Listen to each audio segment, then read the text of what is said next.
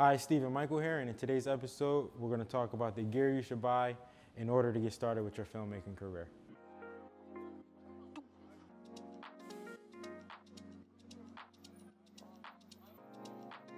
Just like you, when I first started as a filmmaker, I didn't know which way to go. Should I get Canon? Should I go Nikon?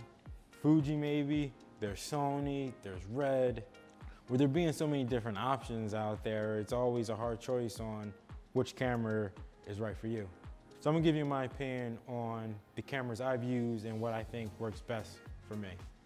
Prior to filmmaking, I was into the photography world. When I started looking for a camera, the cameras I was looking for was more geared toward photography, so I started with the Nikon D5100. After being with Nikon for a little bit, I wanted to dive more into video and most of my mentors or most people I was talking to were leaning me towards Canon. Uh, most of the industry was Canon based. Finding Canon lenses was a lot easier than getting Nikon lenses, so I eventually made the jump over to Canon and that was a world of difference for myself. Switching over from Nikon to Canon, there was there was a huge difference as far as at least the menu system. Uh, it was much more user-friendly. The learning curve of learning how to operate the Canon was much more smoother and much more easier than when it came to Nikon. And then the video capabilities, I believe I had a larger range of what I could do with the Canon cameras. For the next two years, I spent my journey with Canon and we had some really good times together.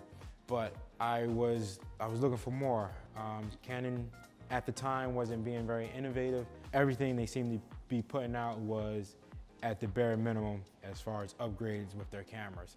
And uh, at the time, Sony was making a really big noise in the market with mirrorless cameras and just changing the game completely. So I decided to jump on the Sony bandwagon and I became a Sony shooter. Sony's menu system was a little bit more challenging than Canon's, but after a few days with it, it became second nature. What I loved about the Sony cameras, they was offering 4K with the full frame sensor.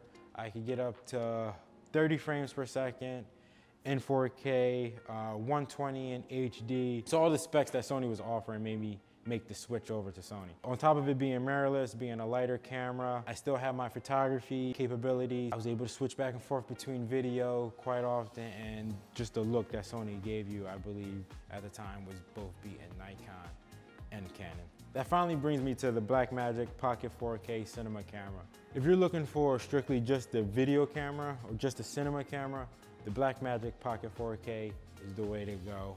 Uh, with the price around roughly around $12.95. It's both cheaper than the Sony a7 III and the Canon EOS R and I believe the Canon R6. At $12.95, you get a 4K cinema camera with unbelievable quality you can shoot up to 60 frames per second in 4K, 120 in 2K if I'm not mistaken. And with the range you have with this camera, it's just unbeatable at that price. My one gripe with the Pocket 4K camera is that it's a micro four thirds lens mount. Uh, so meaning you would have to get, if you're a Canon shooter or Sony shooter, you would have to get a lens adapter to attach your lenses to it. But it just drive that price up about another 200 bucks depending which lens adapter you get. no. I lied. I have two gripes with this camera. My second gripe with this camera is just the ergonomics of the camera. I'm not, I'm not in love with the body. The body's a little awkward. Um, so you kind of have to get different mounting plates if you're mounting this on a gimbal. Um, just the body shape in general. Blackmagic's going against the grain as far as how the bodies look of their cameras. But as far as everything inside the camera, it is my favorite menu system by far. It's the easiest to learn, easiest to fly through. They make everything so easy with that big LCD panel on the back. You really can't go wrong with this camera in any way. If I was to be completely transparent, if this camera was out when I first started, this would have been my first camera choice. Earlier this year, as I progressed in my filmmaking career, I made the decision on purchasing a Red. Now, if it wasn't for Red releasing the new Komodo earlier this year, I would still be working with the Blackmagic. But Red released the Red Komodo earlier this year, uh, being their consumer camera, because uh, if we all know, their cameras can run up to anywhere from 10 grand to like 50 grand or even more once you start including the accessories and so on and so on. So if you do have the extra funds to spend, I would get the red Komodo over the Blackmagic Pocket 4K because one, you do have that red color science. You get to shoot up to 16K It's natively a RF mount. It, when you purchase the camera, it, it comes with an RF to EF mount, so you can attach your Canon lenses to it.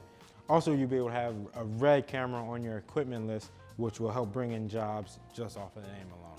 With the Red Komodo coming in around just $5,995, you're looking to spend around $3,000, $4,000 more dollars than you would as if you was to purchase the Blackmagic Pocket 4K camera. With that being said, if you're just getting started out, I would buy the Blackmagic Pocket 4K because you're getting a great image at 4K for only $1,200. And then all the extra money you was gonna use to spend on the red, you can buy lenses, you can buy batteries, you can get your tripods, you can start focusing on other areas in filmmaking such as audio and lighting and so on.